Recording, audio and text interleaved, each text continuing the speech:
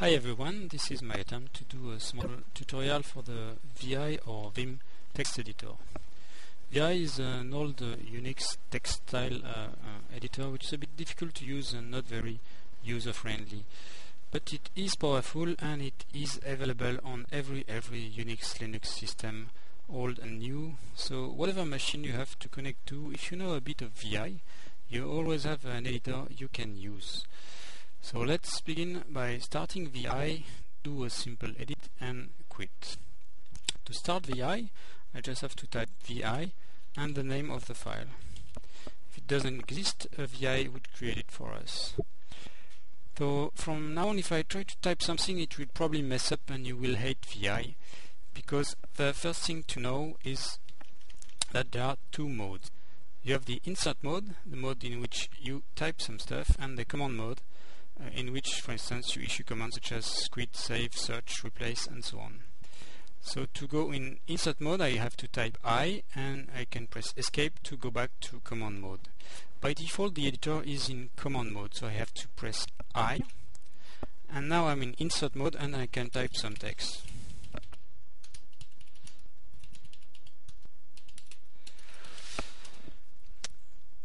Now, the second difficult thing to do with VI is to quit. So let me show you uh, the first way to quit by saving what I've just done. So I have to switch to command mode. I press escape and the command to write and quit is colon WQ. So that's it. I out I'm out of VI. If I edit the file again, I can see I have my reason, results, uh, my, the text I typed here. Um, so let's add some more stuff and so let's go at the end of the file, press I and type some goofy stuff so I can demonstrate how to quit without saving. So let's go to command mode by pressing escape and the command to quit without saving is colon Q exclamation mark. I'm out of VI, let's run it again and verify that I don't have the goofy stuff, uh, stuff I just typed. So here are the commands I used. Uh, write quit or quit exclamation mark. The normal quit would issue a warning in case you just modified something. Now let's learn how to move inside the file, copy paste and do some search and replace.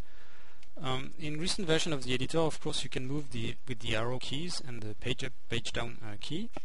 You can also go directly to a line by uh, in command mode pressing. let's make sure we have we are in command mode. Press escape, colon, and a line number. For instance, one. I'm at the beginning of the file. You can also use the special dollar uh, sign to tell the end of the file. You can also move inside the line uh, without the, the, the colon. If you type just dollar, you will be at the end of the line and the hat sign at the beginning of the line. So these are, this is a summary of the, the command I just used.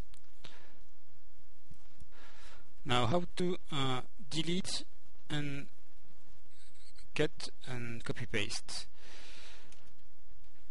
I can use the YY command to copy the current line or DD to get it or delete and the P command to paste the result. So for instance, let's move at the first line, do a YY. Now I have the first line in the buffer. I can move at the end of the file, for instance, and press P and paste the result.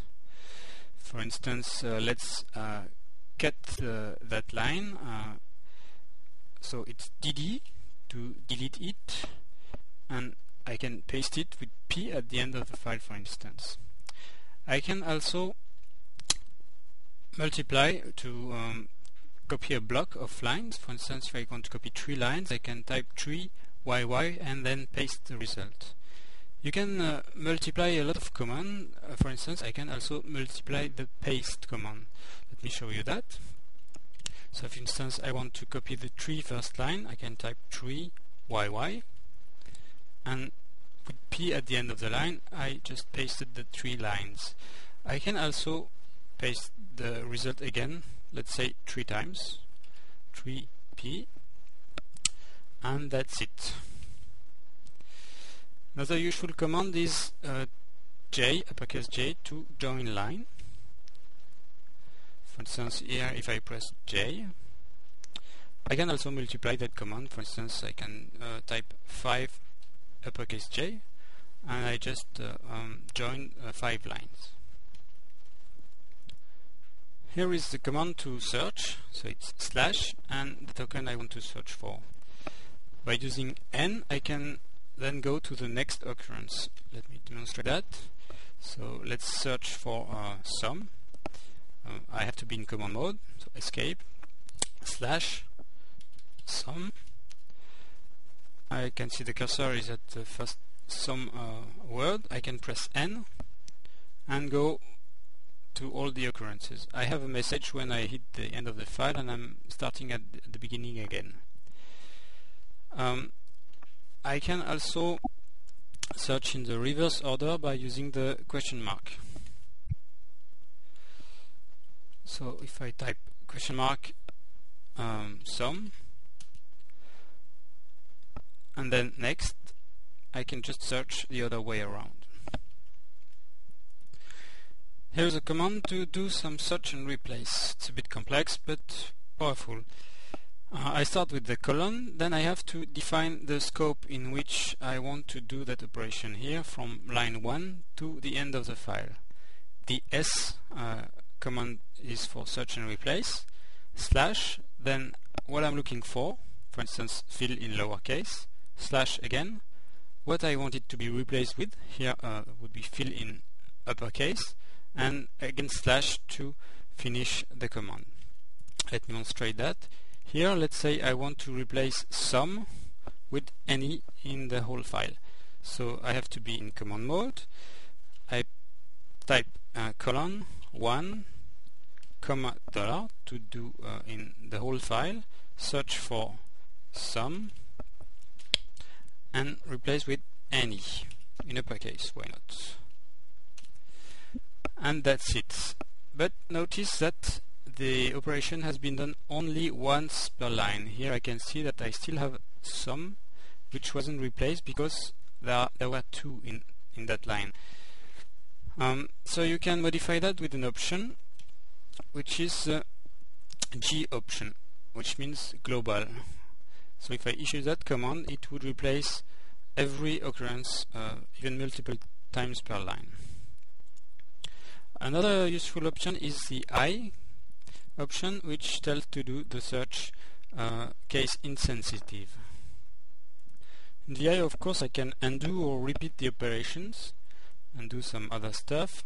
So to undo it's U and dot to repeat whatever you just uh, did for modification. For instance if I want to delete that line I can undo it or if I delete again and I press dot it will repeat the operation. Um, a useful command is change word. Let me demonstrate that with the search and, and with the search. For instance, if I want to modify the any uh, keyword, um, I can search for any. Then I want to change that word. I type CW and then I see the any uh, word disappear and I can replace it with whatever I want and press the escape key to end. Then I can press the N key to repeat the search to the next occurrence and press the dot key again to repeat the modification operation N dot N done. So that's a handy way to repeat some search and replace operation and verify by the way if everything is going uh, as I, I want to. Two other useful uh, commands to edit quickly is uh, lowercase x to delete backwards and the uppercase A to insert something at the end of the line. For instance, here I can delete some text the other way around. And if I start with a long line and I want to insert directly at the end, instead of moving manually and typing I, I can just type uh, uppercase A and append something.